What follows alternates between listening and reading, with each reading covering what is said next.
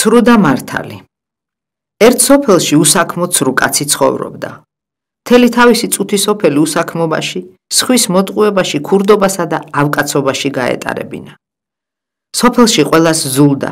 ერიდებოდნენ მის სტუმრობას, მასთან შეხვედრას და გამოლაპარაკებასაც კი. ცრუ კაციც მიხვდა ამ სოფელში აღარ დამედგომებაო, აი კი და გუდანაბადი და გზას გაუდგა. ცხრა დღე და ღამე იარა, ცხრამთა გადაიარა და ერთ სოფელთან დაუღამდა. წამოვიდა კოკისფირული წვიმა და სულ დასველდა. მოიგონა მერე ბრმობა და ერთ გლეხს მიადგა კარებზე. ამ თავსხვა წვიმაში ბრმაკაცი შემიფარეო. ეს გლეხი ყოფილიყო კეთილი, შრომის მოყარე და მართალი კაცი. ტყუილი იმას თავის დღეში არ ეთქვა. შრომობდა პატიოსნად და სარჩოც მუდამ საკმარისი ჰქონდა. ცოლიც გამრჯე და მშრომელი ქალი ჰყავდა. გლეხმა ბრმა რომ დაინახა, შეებრალა და შინ შეიყვანა. გლეხის ცოლმა ბრმა სველი ტანსაცმელი გახადა და ქმრის ახალი ტანსაცმელი ჩააცვა. სველი ტანსაცმელი გაუშრო, გაუწმინდა და მოუმზადა.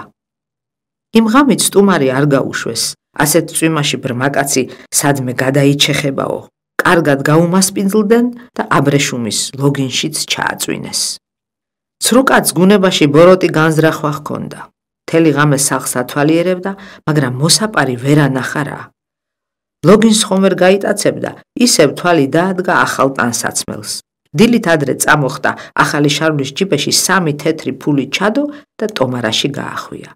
თვითონ თავისი დაგლეჯილი ტანსაცმელი ჩაიცვა და გზას გაუდგა. გლეხს რომ გაეღვიძა, ყველაფერს მიხვდა.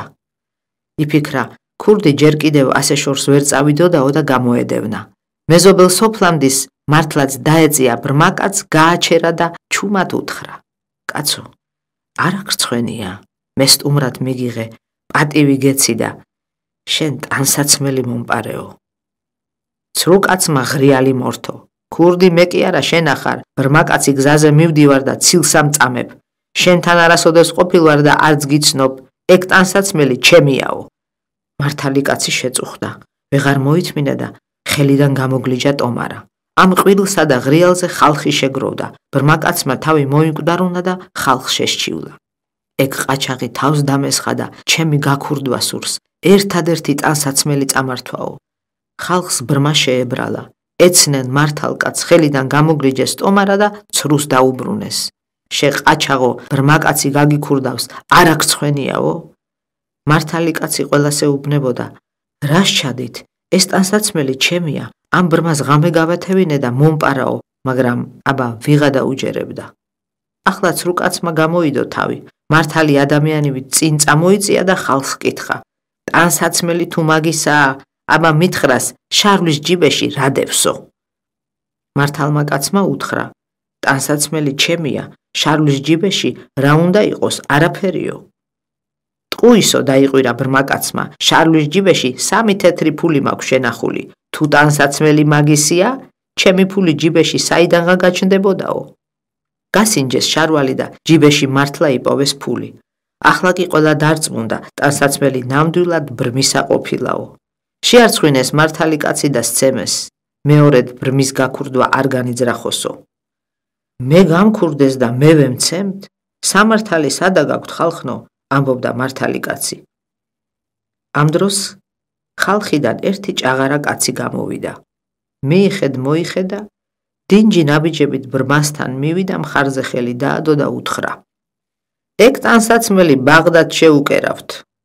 ზეთ წითელ-წითელი ზოლებიც დაუყოლებიათ. შენ მაგას ვინ მოგცემდაო? ცრუკაც ახლა დაავიწყდა რომ ბრმად გაასაღა თავი და მოხუც პირში მიახალა. რას მიედ მოედები? ბრმა ხო არ ახარ, ჩემი ტანსაცმელი შავი ფერისაა და არავით არის ზოლები არ აქვსო. მოხუცმა ცრუკაც ჩამოართვა ტანსაცმელი და მართალს გადასცა. შენ ტყუი? ბრმა არ ახარ. ეს ტანსაცმელი ამ გლეხისაო. ცრუკაცი შერცხვენილი გაეცალა იქაურობას.